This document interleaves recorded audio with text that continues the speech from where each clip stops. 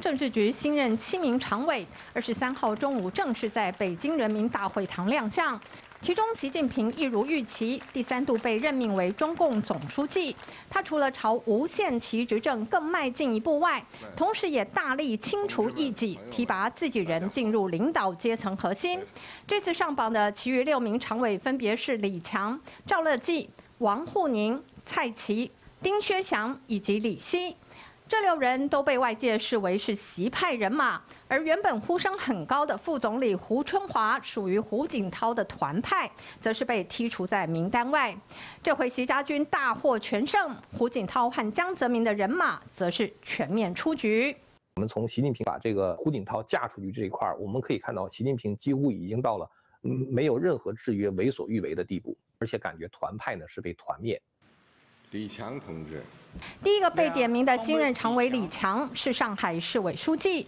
虽然在上海封城期间引起了相当大的民怨，但是由于符合习近平绝对忠诚的标准，试图由黑翻红，接下来还渴望直升国务院总理的大位，更加贯彻习近平的意志。另外，蔡奇、丁薛祥和李希也都是常年和习近平共事的亲信。It's uh, in short, it's all she's men now. Uh, so these are the men that Xi Jinping really feels closest to and and really trusts the most, and that now seems to be the only criteria that matters. 习近平打破邓小平以来的宪政惯例，蝉联第三任总书记，而且连任了中央军事委员会主席。另外，明年在全国人大会议上继续保住国家主席的头衔，也如囊中之物。党政军大权。一把抓，习皇一人专制的独裁局面已然确立。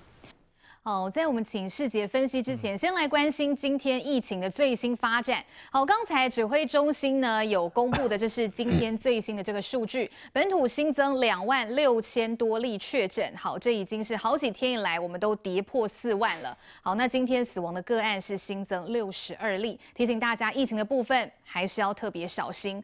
好，继续呢要请这个世杰来帮我们看的是，因为其实这个画面真的是全世界都哗然啊，怎么会众目？睽睽之下，把前国家主席这样给他嫁出去，而且呢，其实外媒还发现哈，就是有人去分析说，有可能胡锦涛的儿子，好，他的儿子叫做胡海峰，可能也是全程目睹哦，这是多么残忍的一幕。好，那现在在中国的微博，胡锦涛、胡海峰两个名字现在都变成禁语了，现在都搜不到了，师姐。呃，大概两天前看到这个新闻的时候，真的是触目惊心哦。那个时候，在我想，不管在社群媒体上，在 Twitter 上，在脸书上哈，周遭的朋友，大家全部都在讨论，因为这个画面真的太诡异了，是。诡异到简直是觉得感觉是。好莱坞的电影啊，我们刚刚这个我们一直在强调说，其实中国的这种哈全会哦，一般都是照剧本走。那所谓的照剧本走的意思，就是说，其实它每一幕的安排，怎么上怎么下，大概都已经安排好。而且说老实话，台上的每一个人应该都已经知道接下来要怎么走这个剧本。嗯。但是我觉得当天可能有两套剧本。对。但是胡锦涛拿的那套剧本。只有他的剧本跟别人是不一样的，嗯，所以他才会那么惊恐啊，对不对？刚刚我们看这个呃 C N N 的报道，他就有说啊，这个全场的人都静默嘛，是呆呆的看着，每个人都想说啊，不是本来就这样子，怎么只有你不知道？嗯，所以他是有两套剧本在现场走了。刚刚看我们那个新闻哈，这个。他们记得用了两个英文单词，说一个是 sympathy，一个是 apathy，就是说在中国你要升官，你有同情有 sympathy 是没有用的，你必须要冷漠啊，各位，你必须要 apathy，你才有可能升官，你才有可能保命。好，这就是我们那一天看这个节目、看这个新闻哈最大的一个感想。对，没有人敢伸出援手。而且刚刚已经说了嘛，微博全面封锁嘛，胡锦涛、胡海峰的名字都全部封锁，但是。习近平是刻意让这个新闻在国际媒体烧哦，对，他没有要去回避这件事情呢，他是要这个事情让全世界看到我习近平，我就是这么狠，嗯，我就是有办法在这种场子底下把胡锦涛公开拿下，对，好，所以他尽管不想要让中国国内，除非你翻墙的这些十四亿的人看到。但是他要让国际上看到，是我就是这么狠。对我现在就定于一尊了，都是听我爱的点。都是爱听我爱的，因为我是全世界最大的强人嘛。现在普京在忙着乌俄战争，打也打不好。但是除了普京之外，我习近平就是现在全世界最强的政治强人。这个就是习近平要透过这个新闻画面跟全世界所散播出来的讯息。没错，而且我刚刚才知道说这个。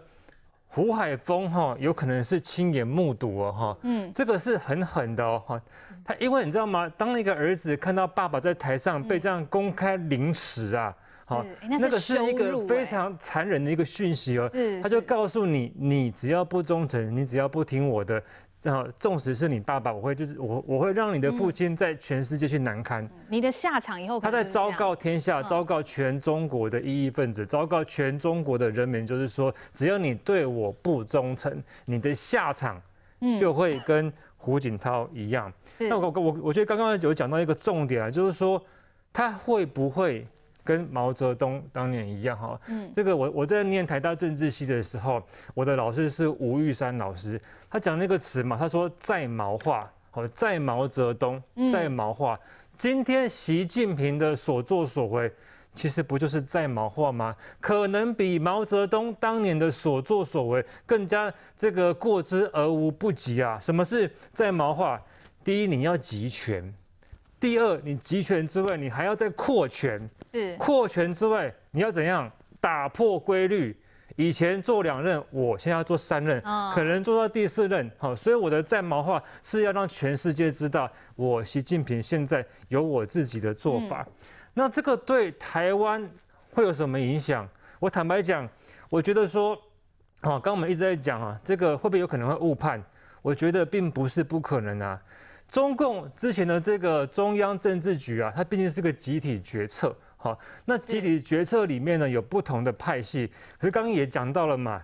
从此之后，派系制衡已经不存在了。嗯，以前还有所谓的派系制衡，好，就是我们刚刚讲的，可能还会有不同意见，有吴景涛的，有江泽民的，对。稍微先问一下，打还是不打？现在没有了，现在就是我一个人说了算。所以在习近平的时代，已经没有派系制衡了，以后就是只有习近平。那所以说，台湾的国安团队更必须要上紧发条，因为这个任何的蛛丝马迹的讯息，都必须要用最。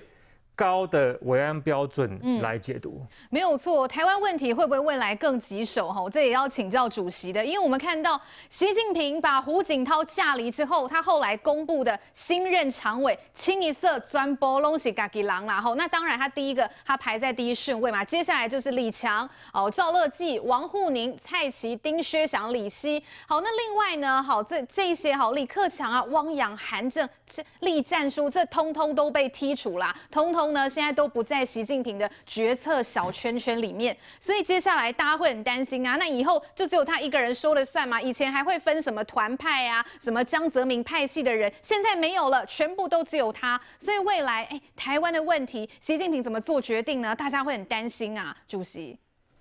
哎，这个我无啥赞成独家的刘世杰公，这个好像脱稿演出，这不是这就是剧本里面的一个啊，这本来他就想好的。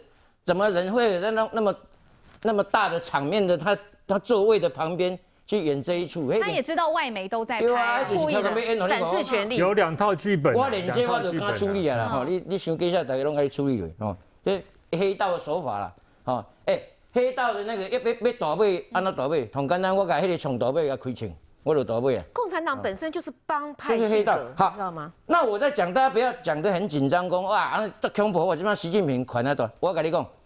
用中国的俗语来讲，吼，这是兵书来底讲的哦。他，我我在猜，两三年内，吼，习近平可能那不是爱斗，就是爱招了，而不是政变。现在刚刚来讲，中国有一句老话了，吼，它叫做“用师则亡”，就说你旁边用的人，如果都哎一个一个都比你厉害，或者至少比你有经验，比你老，这个老师了哈，叫用老师。你旁边都是老师，你你就很容易变成称王，被封地了对了哈。第二句，用有则霸，你用的人几乎跟你平辈，啊，啊，能力跟你差不多啊，有各各各方面的长处，对，你可能至少是一个王啊，霸主了哈，你别当这统统多啊，这就割据一方没问题哦。第三句最好玩，叫用土则败。习近平本人已经很蠢了，他的学历几乎是假的，好像在矿业资料在，几乎是空的嘛。啊，结果你旁边用的那哎，这几个我除了王沪宁我有听过，其他我都没听过。嗯，哦，依在你中央有王沪宁有听过，其他都没有听过。嗯，而且你跟他路边捡来垃圾啊，捡来等边变变成中常委政治局的七个常委变成这样这种货色，很多都三级跳了。这种货色。他要主持未来要他他的目的是要跟美国抢霸权嘛，嗯，哦要要打台湾嘛，要要压制日本嘛，要占领那个那个南海嘛，这些都是很冲突性很高的，这怎么可能由这个习近平这个蠢蛋来完成呢？不可能。所以以前咱台湾人看到一切报给我爱华裔，这个就是他已经到了用途则败的阶段，但是这个确实也有风险，你越笨的人呢，他越容易出一些你没有算到的。的那个烂招哈啊，所以我要干嘛哈？这个不不要害怕这个，这我们都把焦点放在他集权，嗯，独裁是。那你你如果集权都在那旁边都是一些很厉害的人，那我们在那害怕？问题不是啊，啊，问题是，我啊用用 B I 的高跟高孙，这个其实不不值得害怕。第三个我要讲说，这整个他的二十大哈，不要说二十大，他其实这个等于是一个皇帝即位的。登基仪式对，上登基这个我同意了哈。但是，哎，我们全市包括中国人十四亿中国人，包括台湾两千三百万，台湾还有一些共匪的走狗，以为这个是多了不起。你看看前不久发生那个曼彻斯特英国啊，嗯，人去外口给你示威，你去外口讲抓入去内底看报的，讲讲到哀叫，哈，就像英国人跟台湾呢，哎，你。大使那个领事馆外面是英国的领土呢，嗯，你把人家抓到里里面去毒打一顿，啊，这个大家难道不记得吗？当时我在我记得念小学的时候还念到什么孙中山去伦敦什么伦敦蒙难记有没有？啊，去那个大清帝国哦，去去外口看报纸啦，啊看报纸的有没有听过？我在路上走，那孙中山在路上走，就后面有人把他看报纸就毒打一顿，送到那个那个大使馆里面，后来他叫那个。给饭吃的那个送了一张叫康德里那个老师有没有？这个故事大家听过？哎，这多久前的事你知道吗？一百二十六年前。是。起码蒋辉啊，都是什么新中国的，讲等于清朝的时代啊。嗯。完全连那个国际上的惯例、国际的文明都不知道。这这个国家你能你能够多厉害？好，第二个，啊，习近平啊咧，哎，做做个事啊，做这么大家拢有。第四年嘛，搁做落啦，好，你后边拢要要古仔囝是要他接班，好，这个人，哈，他变成皇帝以后，哎，这就走回一百，像民国一百一十一年嘛，清朝皇帝宣统皇帝被我们推翻一百一十，现在就回到皇帝去了啊，这个这样的国家，老老许跟我，台湾人退谈退闹都没有啊。他还有一些在帮他讲话的，笑死人。好，来，玲玲姐，我们稍后来补充，还是请教一下国民党市委这边怎么看？因为像刚才，其实主席有分析哈，这个习近平换了这一批人上来之后哈，不止主席啦，我们看到中研院的院士吴玉山，他推测说跨内版谁，习近平看起来没有指定接班人的意思，这样是表示什么意思？就是说他有可能连任五年之后还想再连任，柯林准备这个高三回啦。来，市委怎么看？这一点，嗯，确实有可能哈。因为过去他们的总书记一任就是五年，嗯，那二零一二年习近平上任了之后，他现在做了第二任，是，他现在已经要连，现在准备要第三任，那他几岁？他今年六十九岁，阿丽娜公哥这能里面是这年，哎，刚好七十九岁，那就好像是一个胡锦涛他现在的一个岁数。那根据外媒这一个发行社，他整理的四个重点，从这一个画面，他整理的四个重点。第一个就是说，胡锦涛他本身有岁数，他有帕金森氏症，那是不是身体不适？哦，那第二个，他是在外面，大家在猜测的就是说，习近平他做了第二任，他现在要步入第三任，未来或许还有第四任，所以说他必须要把过去江泽民时代，甚至于胡锦涛时代这一些所有的派系全部都消除，他变成要培养自己的。那由这一个名单看来，也确实是如此。嗯如果说他还要再做一任或两任的话，那你看到他现在的这些接班的一个梯队，大部分都是六十多岁。嗯，那些跨 K I 其实是有年轻化的趋势，包括我们国防部长邱国正也是这样讲。那如果未来他要贯彻他在对岸的一个独揽大权，那他的一个接班布局，他这些用人，他以年轻化，那至少还有五年到十年。所以说，这一个或许是他容不下这一个江派跟胡派。那另外一个就是，刚刚大家都在讲，这一个是大会，不管是一套剧本、两套剧本、三套剧本，事实上我们都会认为，如果说以对岸中共它本身的一个集权专政的一个独裁国家，他要开这么大的一个会，嗯，那他一定有事前的会前会。那我相信各方会前会，那有谁反对呢？没有人反对，但是或许也有可能，习近平有看到大家在猜测，讲说，哎，胡锦涛他是不是看到了这个名单，他是不是有一些不满？柯林伯不安逸呀，因为他坐在旁边，所以说叫他的一个这一个秘书或者是随扈，然后来把他架离。那第四个就是讲说，不透明的这一个政治，大陆是常态，所以说。如果说以这样来讲，你说习近平独揽大权，他做第三任当然独揽大权了。那你说对岸中国的一个这个共产主义，他们本身就是集权专制的一个独裁嘛。但是我们看到人家这样子的一个布局，那我们呢？我们跟他是敌对的国家，我们不求战，我们也不惧战，但是我们有没有准备好？甚至于我们看到他这样人事出来了之后，那从这一个胡锦涛的一个事件，那我们最重要是要看他的人事布局。未来我们台湾要怎么样做因应之道？因为他有可能未来做第三任、做第四任，那够长你也西尊呀？那你要怎么样做营业？好，习家军现在全面掌权哈，尤其其实我们还特别注意到，习近平这一次特别打破惯例拔擢的这一位，好是这个解放军东部战区的前司令员，一口气升到了什么？升到了中央军委副主席，这到底暗示了什么样的意思？我们休息一下，等一下回来，美美姐继续帮我们补充。